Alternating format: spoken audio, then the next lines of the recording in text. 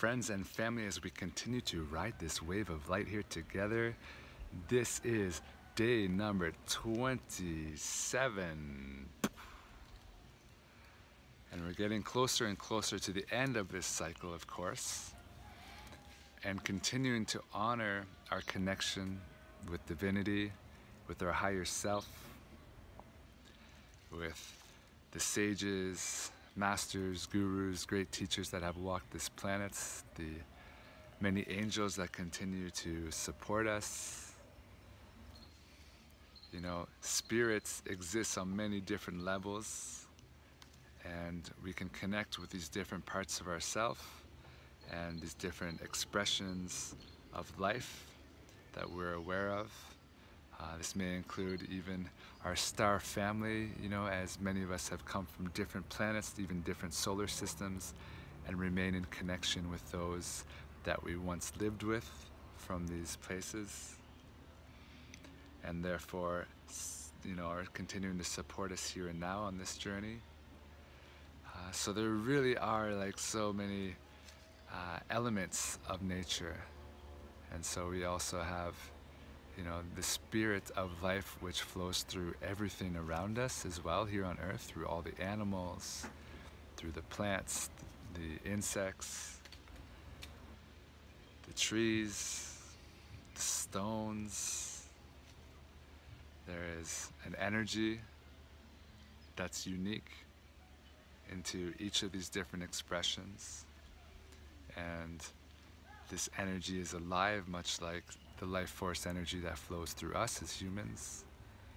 So we have the ability to be in communication as we learn to commune with these forces of life, with these forces of nature, um, with these expressions of ourself, recognizing that we all come from source and therefore uh, are not only an expression of source, but remain in connection as a part of Source, as a part of creation. And so this is something that we knew long ago, you know, for tribes around the world.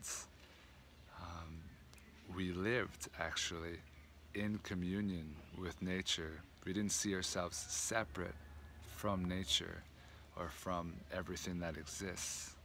We, in fact, knew that we were simply a part of nature, of creation, and seemingly a very small part.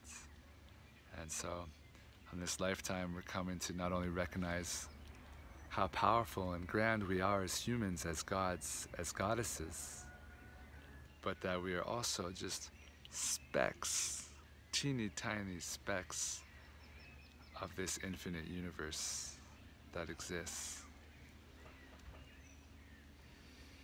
So in our communion with spirits, with nature, with our angels, um, it's simply a matter of taking time to connect with ourselves and opening up our channel to speak with, to commune, to communicate with these forces as we are in connection with them naturally and starting to maybe reconnect with these parts.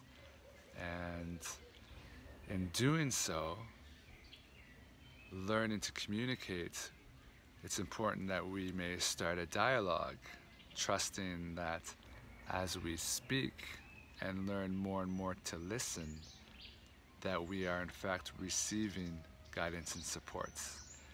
And we may not hear it just with our ears, we may not see it just with our eyes or with our mind's eye,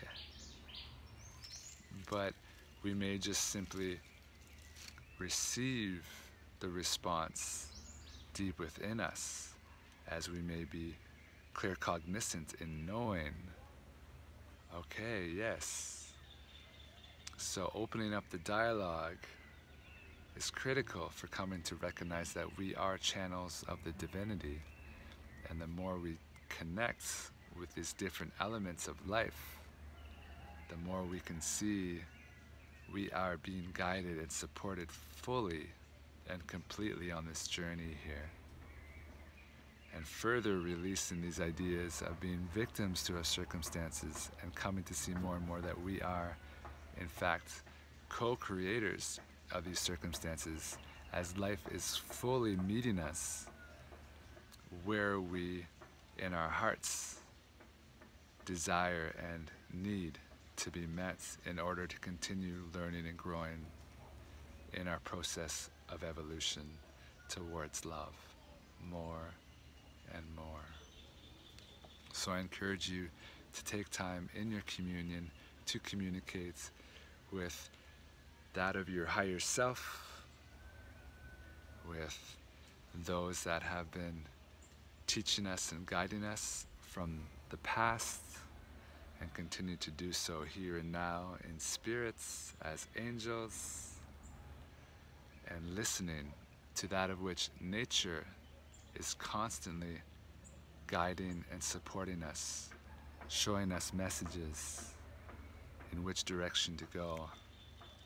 So if we're unsure, we can simply ask life, show me the way, and it shall be revealed to you in perfect timing, in perfect ways, as long as you're willing to listen and able to see and therefore also able to trust and to know we are one with spirits and all that exists.